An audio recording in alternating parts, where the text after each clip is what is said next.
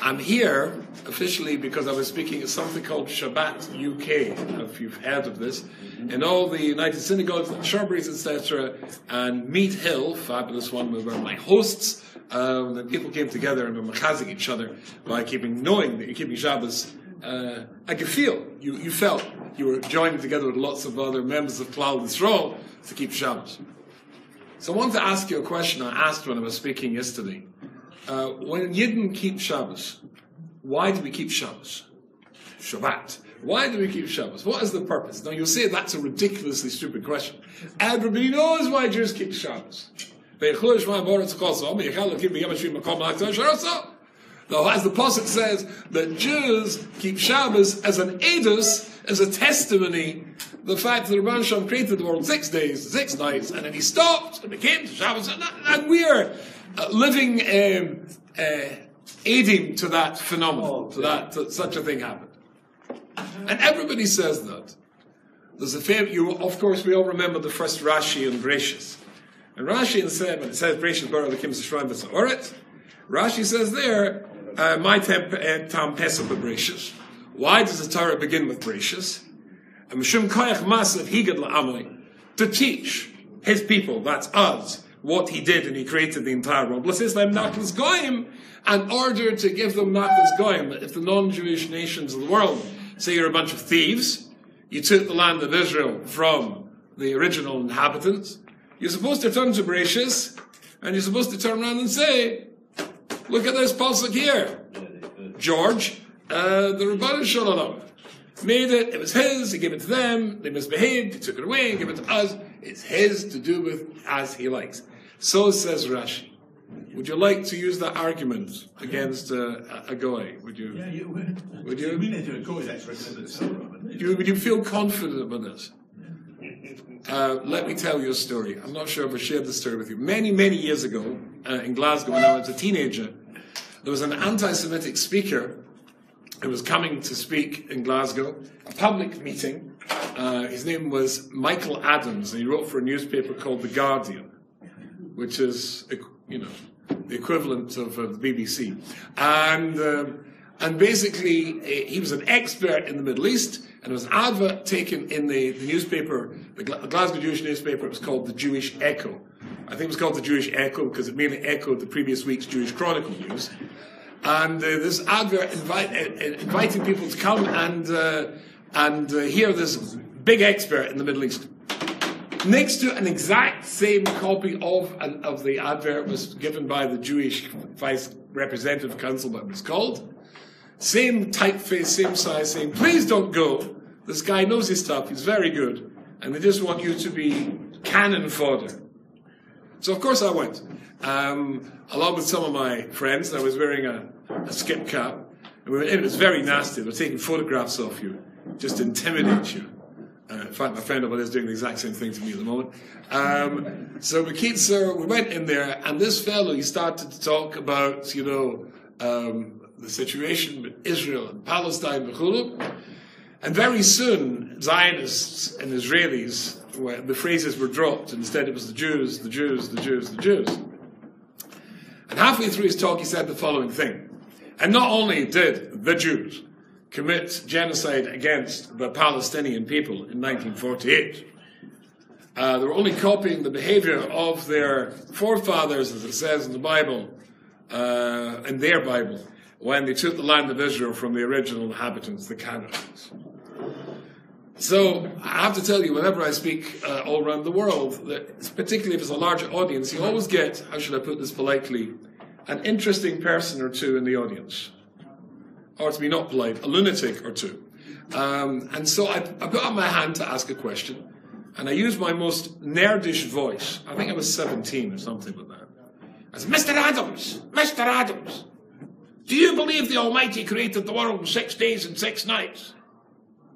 So he looked at the MC who had allowed this question to be asked and of rolled his eyeballs and he said, No, I don't believe it. I said, But Mr. Adams, it says it in the Bible. So he rolled his eyes again and he said, Well, I don't believe what it says in the Bible. Oh, oh. and then I dropped the silly voice and I said, Well, in that case, Mr. Adams, where do you get the information that the Jews committed genocide against the original inhabitants of the land of Israel? If you don't believe in the Bible and it's not true, then it never happened. If it is true, then God told them to take the land because it's his to give to whoever he wants. And he did a wonderful, this erudite, famous anti-Semite, a wonderful imitation of a goldfish. There's nothing to say. It was sehr geschmack. So, so in actual fact, the Rashi here, what he says, that, you know, this is what you're supposed to say to the Ummah Olam, you know how to do it, you can actually use that argument. But the Ramban famously turns around and says, what is Rashi talking about? You all know this Ramban. So that's the first Rashi, the first Ramban. There's an enormous necessity to start the tower with Bereshit. What do you mean we don't need to start the tower with the Bereshit? What's Rashi talking about? Rashi goes on to say, we should have started from Achodesh Elochem. We're only interested in mitzvahs. We should start with Shmois. What, what do you mean we don't need Bereshit? Sorry, Godel. Because if you don't believe who's Sharish Hamuna, it's the fundamental of what we believe. If you don't believe the Raja created the world, Yesh Ayin, who kaifra be'ika be'in klal, you're an iceberg. You're not part of Yisrael at all if you don't get that rather fundamental idea. So obviously, the reason that rhetorical question I started the share with, what if you were to ask the oilam as I did yesterday, why do Jews keep Shabbos? Because we're Edim. The whole idea of Shabbos is to give Edus to Brias oilam. Everybody says that. Rashi says that. So Rashi, that's what Ramban's explaining. The Ramban says that. Ibn Ezra, everybody says that, apart from the Alshich. The Alshich Kodesh asks a gewaldige question. I give an Alshich share every week um, um, on Torah anytime. It's my second year, so I'm looking, trying to find Alshichs I haven't seen before. And I found one in Pashas V'yakel, and I thought it was absolutely astonishing. Such a clever question. If it's just, he's not arguing Rahman Islam with uh, Rashi and Ramban, but if it's just that we get, keep Shabbos in order to give aid to Brias Oilam, then why, if that's the only reason, are you chayiv misa if you break Shabbos? Who? Where do you find in the Torah that anybody is chayiv misa for not giving edus? No, you're chayiv misa. You can be chayiv misa for giving false edus. But failing to give edus, why should you be chayiv misa for that? It's an interesting question. That was a very, very good question. So this is what the Alshich answers. I think it's a brilliant. There's a there's a phrase um, you're all uh, familiar with, uh, I'm sure, the Latin phrase carpe diem. Uh, in Yiddish translation, chap arain. There's a moment to chap arain. And the Torah says that if you don't, if you, if you don't keep Shabbos, then you're misa. You're misa. What does it mean chayiv misa? You know, al it's almost impossible ever to give anybody the death penalty anyway. You've got to have two edim, two kosher edim, and you have to give warnings before the fellow breaks Shabbos and we're going to be the end, we'll take the base, and you're going to be killed by this. We'll be the executioners. Who would do it? Oh, but the Alshich says no, but Emes is something different. We all know, the Gemara says, find it all through Sefer Chazal, that when it comes to Shabbos, a Jew is given a special, a special thing, a Neshama Yisera. How would you translate the words Neshama Yisera? An extra soul. And I, up until I just saw this, uh, this Alshich a few weeks ago, I translated that for the whole of my life the exact same way as we all translate it, and Neshama Yisera. But that's problematic. Um, because what is this Neshama Yisera? You know, of course, the name that you're given is the name of your soul. It describes your soul. So I am a Yehuda Yaina ben Avram. That's the name of my Neshama. So Shabbos, you got an extra one? What's the name of that other Neshama? George? The Alshich says, the Shomi said, what does Yasira mean? Yoiser means more. When it comes to Shabbos, your neshama expands. The keli, which is your neshama, expands and is able, as a consequence, to be makabel more kedusha at that particular time, twice as much kedusha than you could do any other time of the week. So that's the neshama yisera that you get. When it means that you're chayiv misa, when it says that you, if you break Shabbos, you're going to be you're going to be, be killed, it means you're going to kill yourself. You've got an opportunity to grow. There comes to Shabbos an opportunity to expand, to fill your keli doubly from what you could do during the week, and you miss that, you're not going to grow. I don't know if anybody here has ever been on a diet. I'm just looking around the room here. Obviously, no, no one. What happens at yeah, me, I'm, I'm in one now. So what happens? You stand in the scales, And then you look, right, you started your diet, you stand on the scales, and you go, oh, right. And then you diet for the first week. Next Sunday, I do it the Sunday. You, uh, straight out the shower, right, look down, no change, right. Next week, mm, right. So that's usually when people give up. But if you keep going, people haven't seen you for six months, go, oh, Frank, you've lost a lot of weight. In fact, my daughter said this to me when I arrived here this week. What do you think? Um, uh, so the kitzur, change normally happens slowly. Uh, incrementally. That's what the Alshich says. The bracha we make before we do any mitzvah is Asher Kiddishanu b'mitzvah sav tzavono, etc., etc. Asher Kiddishanu b'mitzvah sav. You've made me holy. But you don't see it.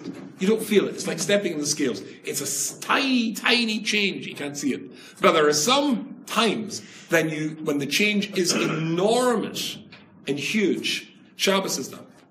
You can grow enormously, take a huge leap forward when you, when you em, embrace Shabbos the way it's meant to be embraced. And Rabbi Dessler famously quotes, and everybody knows it's a very, very famous vort of his in Michtav um, and page 21 of Chelik Beis, when he says, he quotes Ritzi Hirsch uh, Broida from Kelm, who says, Ki lo hazman over al odom ela odom naseh. It's not that time passes over a man, but the man passes through the time. What's the shot? So if we had a whiteboard here, you know, you remember back in school, in a history book, you open a, a history book, they always portray time as a line. In fact, it's called a timeline. And then they put, so it's a horizontal line and vertical little marks through it. 1066. Battle of Hastings, which was fought where? In Hastings. No, uh, yeah, five miles away in a place called Battle. Okay, right, and then more Jewishly 1096. Oh, First Crusade, slaughter of Jews, that's when Rashi lived, right? Move on to a more significant date, 1440, invention of the printing press. Sforim became much more available. That's important uh, where I lived, 1776. Enormous mistake. They decided to leave us behind, and look what they've got. Um, and so, 1914, First World War. 1918, 1933, Hitler, Yamashmai came to power. 1939, good, very good. 1945, good. 1948, finally the State of Israel. 1955, 1955. I was born one of the most uh, significant dates in Jewish history, uh, and then 120 years later, right, and uh, Yisgadal, and then time passes on. It's usually portrayed as a line, but of course, time is circular. As Rabbi Dessler famously gives the motion of the spiral staircase. You're watching your Chava going up the spiral staircase, and you're standing looking. So here he is again. And then he goes round, you can't see him, and he comes back again. So you're moving forward or he's moving forward. You're going forward, but you're coming back to the same spot every time. So Pesach is Zman Cheresin. The Rabban Shalom expresses into the Bria a koich of Cheres, that's Cheres physical Cheres, and also spiritual Cheres. Um, Zman Matan Torasenu. Rabbi beautifully says, and what's the koyach that comes into the world? For Chanukah, he says, Azus, chutzpah. Something we davened this morning, keeping away from Aziponim, Azazponim, but it can be used like all meters for something positive as well. For one old Jew to want to take on an empire, that's a chutzpah. But he was successful. When it comes to Shabbos, there's an expression into the world of Kedusha, Kihi Mekoir Habrocha, which is unequaled by any other time. And if you chap arain, you can grow. Ratzi Hirschfärber, the first Manchester Rosh Hashiva, I told you this a couple of years ago. He says. We all know that when it says vayhi, in fact, we're coming to Megillus, Rus, so vayhi, something bad's going to happen. Vahoya, something good's going to happen. Why? So he says. You know that he means will be. But when you put the vav in front of it, it's called the vav hofuch, the vav that turns things around. The will be will, becomes was. Vahoya means was. Put a vav in front of it, it will be. And that's good. Vahoya is good and by he's bad. Why? It's a brilliant insight, he says, because if Vahoya was was, past tense, with the Vav, it becomes good. If your future, your will be, is based on your was, it was, then that's good. That's Geshmak. If somebody comes along with a new idea for Klal Yisrael, a new innovation, then the phrase in English, look before you leap, tells us to, well, look before you leap, but the direction of a Jewish eye should be behind. Because nobody's got a more, a longer and more extensive history than us in Kol Chodesh Tachas Hashemesh. If you want to come up with that, somebody with an idea, a change for Klal Yisrael, we don't need to do this so much and that. We can just look back. There will be a pattern. We've seen this stuff before. And if a person's life is operated on the Hoya, that he looks back and it's good, then it's very geschmack. Very geschmack. If you say instead, if only I had, if only I had, that's a Vaihi. But if you can say, I'm glad I did, that's a Vahoyo. You got it right. You move forward. Do you remember, again, a number of years ago, I told you a story, uh, happened here in Manchester. Um, there was a wonderful Yid who lived in Arkehilla here, Mordechai in Brandeis, and he had a, a, a, wholesale bag business down Bury Road. And even those days, I was traveling around the world saying lots and lots of shirim. And as a consequence of that, um, my, I, I wrecked my bags uh, and my suitcases very frequently. Or to be more accurate, the baggage handlers wrecked my bags and suitcases very frequently. And so I needed to get a new one. So I went down and Michael Burnham wasn't there, but there was a non-Jewish guy with a flat cap, talked with a Manchester accent like that. And I said, is Michael Burnham here? No, what you're looking for. So I him I was looking for. He said, right, go down to the end of that road there, turn left, a little bit further down, you'll find the bag you want. I said, fine. And down I went, and I found the bag, and he shouted, I remember him shouting from the office, well, if you find it, bring it in and I'll write you a receipt. And so I brought the bag in. And I sat down and he's writing the receipt. He said, You think you've come here to buy a bag, don't you? And I said, Yes. He said, No, you've come here to tell me a Devar Torah. Now, I have to tell you uh, that sometimes, particularly non Jewish folk who work with Yidden, pick up phrases. Where I live in, in what's called the Five Towns in New York, there's a Chinese restaurant. I don't know what your feelings are about Chinese food, but I'm a bit addicted. Um, and you go in there, the little Chinese lady in charge of it, uh, as you're going out, says, Don't forget to come to Oma. last night was. She, she doesn't tell you what today is. She knows what last night is. So more non-Jewish folk, you know, they, they pick up unser Sprach. Say, I want a Dvar Torah. And I looked at me, and I don't want just any Dvar Torah. I want an Alshich. At this point, I realized this was not, this is not a non-Jewish guy after all. So, um, I've always got an Alshich up my sleeve. And so I told him an Alshich. Ah, he said, ah. He said, oh. Our old Rebbe, he knew who I was. Rebbe Yonah Balkan, he was an old Balkan boy like I am. For those of you who don't know, Rebbe Balkan was uh, one of the great mechankim of Manchester, yeah, yeah. and probably Probably a Gilgal of the Alshich, I would guess. I certainly knew the Alshich insider. In fact, I asked her of Yaakov Hillel, who was also a Balkan boy, one of the Gedali Adar, and, you know, a Makubal. And he was giving me a scholar for one of my books. Sorry, that just slipped out. And, um, and I said to him, you know, uh, do you think Rabbi Yoina was, uh, was a Gilgal of the, of the Alshich? He said, I haven't a clue, because he's a very down-to-earth Makubal. Anyway, soft called soft. He was an old Balkan boy, this fellow. He said, you know, Rabbi Balkan gave me a piece of advice, whatever it was, 40 years before. He's an older fellow. I didn't listen to it. He was learning in Manchester Yeshiva. In those days, there was a, an annual conscription, a year's conscription to the British Army. Uh, you had to go and, and, do your do your duty for a year. And uh, but if you were learning in, if you, were, if you were studying to be a minister of religion, so yeshiva studying to be a rabbi, you had a patur. You didn't have to go. Um, and Rabbi Balkan said, you know, you don't have to go. But he felt he had to, he wanted to do his patriotic duty for Queen and country. And so he went, and he thought he would come out, you know, take up from where he left off.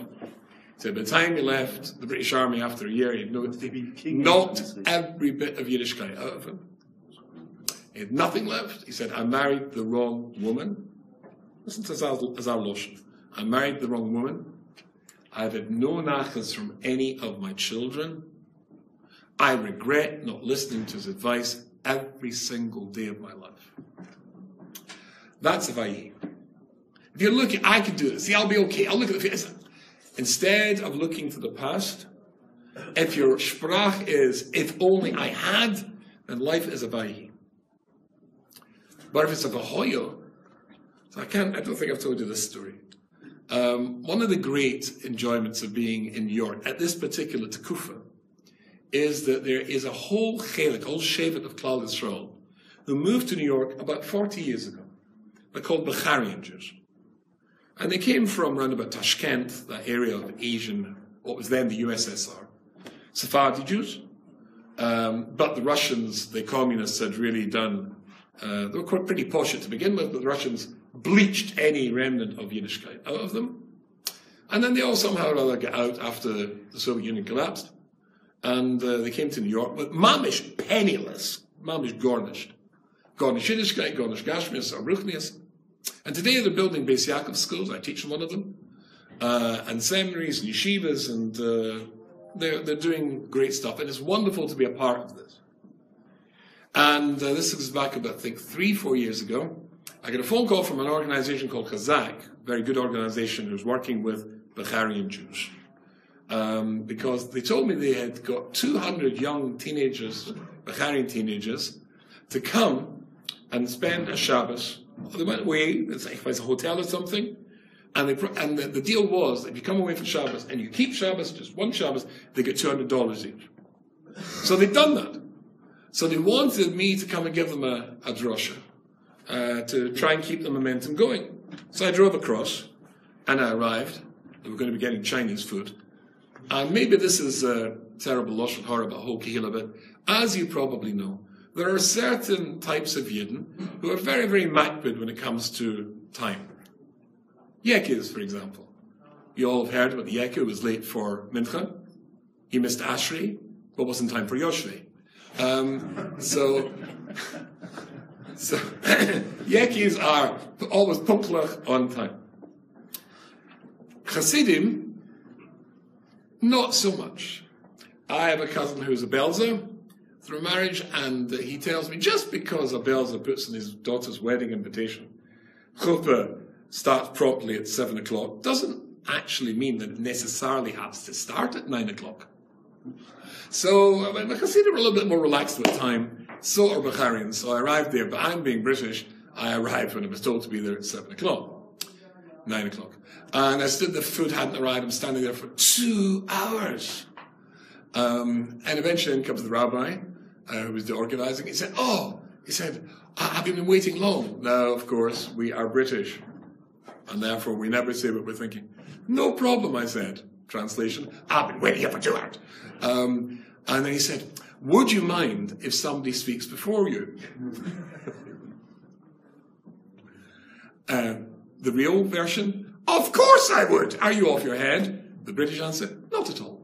Um, and so there was a young lady and this young lady was called Rose, and she was the speaker. So I just sat down there and she stood there and she said that uh, you've all just kept your first Shabbos. This is my tenth Shabbos. She's kept ten Shabbos, and they all went, ah, applauding.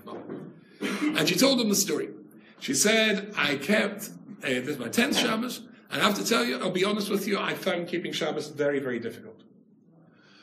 And of course, as you probably know, for non-religious Jewish people, Saturday is when they do stuff. They go to football matches, or they play basketball, or ice skating, or shopping. Well, it's a busy time. And to not be busy is it's very difficult. She found Shabbos very difficult, and particularly because she was staying at home, not too far from where I live in Long Island in New York, uh, with her family who are not from. Um, and so the TV's on, and they're answering the phone, and cars are pulling up, and people are going out.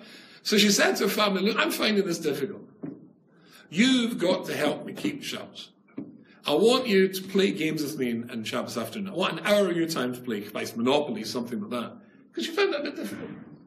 There must be very special people because they decided to give two hours of their time Shabbos afternoon to help her keep Shabbos. Her father's ambition for this young lady was that she should qualify as a dentist. Why a dentist? I don't know, but it's a good parnosa. He always had an idea that his daughter that would be very give her security for the future. In fact, they enrolled her in a university in Queens where she could do a foundation year in dentistry, one year foundation year. But the best dental school in America is Columbia Dental. And to get even an interview, that's like a Madriga.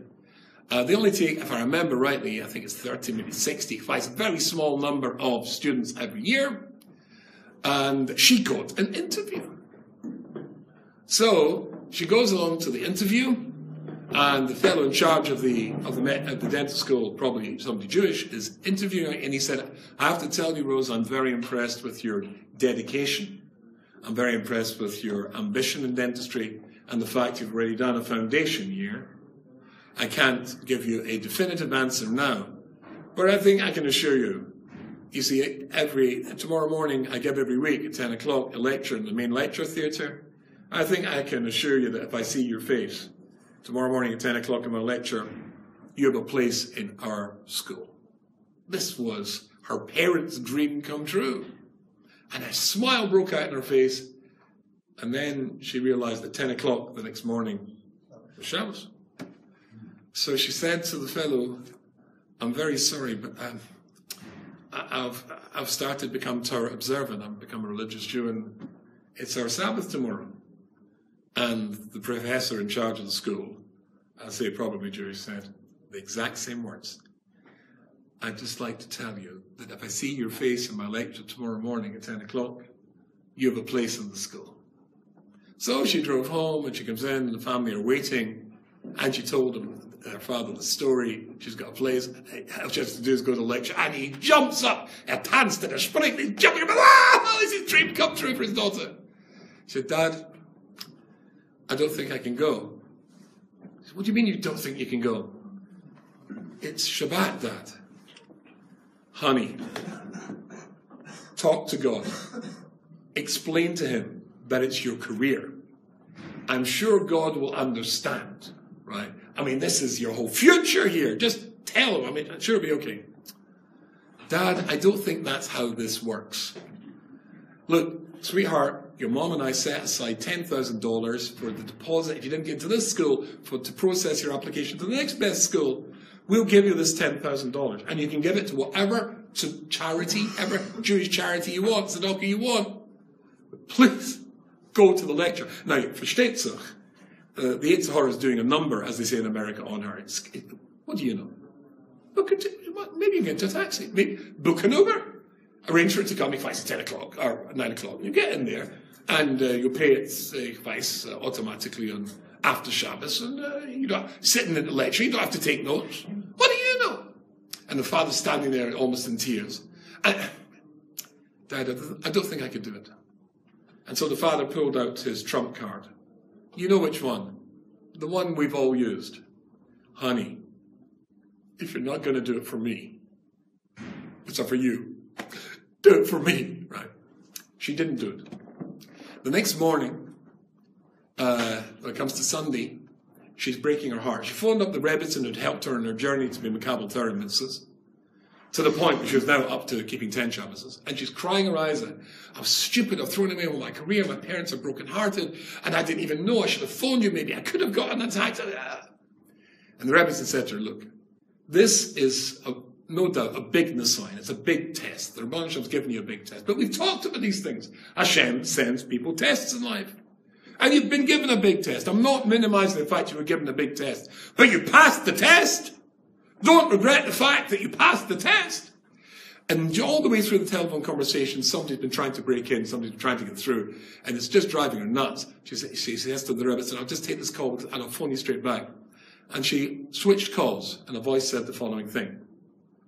This is a test. Test, test, test. St. John's University Security Office, this is a test.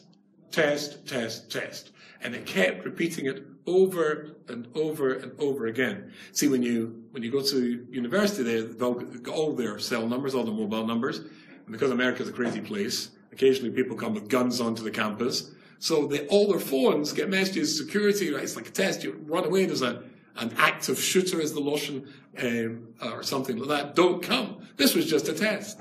The Rebbe was just saying to her, what? It's a test. Hashem sent you a test, but don't regret not passing the test. She takes the call, will it say? This is a test. Test, test, test. So, uh, people normally want to know, did she get into dental school? The Emma says she doesn't need. I don't need to tell you that part of the story, but Emma said didn't know that part of the story because she realized it was an assignment and she passed the test. But I have to tell you, I was saying this year on a Zoom class about six months ago to young ladies who'd become recently frum, and I told them this story. And when I told them this story, uh, I, I, said, I don't know if she if she got in. And one of the girls shouted on the on the parade, "She's here! Rose is here!" And suddenly there she was. Rose, did you get in? She got in. Right. Because it's a bahoyo. If it is you use the past to calculate the future, then that's Gabaldic. If, if, you, if it's the other way about, then it's a disaster. So the emes is, why do Jews keep Shabbos? Of course, there's an Enis Shafak Hashem Yisbara created the world. But when it comes to Shabbos, it's an opportunity because time is circular. Every week we come to a time when our neshama becomes yisera, becomes bigger, and is able to makabel much more bracha. And that's what I told people for Shabbat, UK. And I think it applies to you and me as well. Good. Good. Good.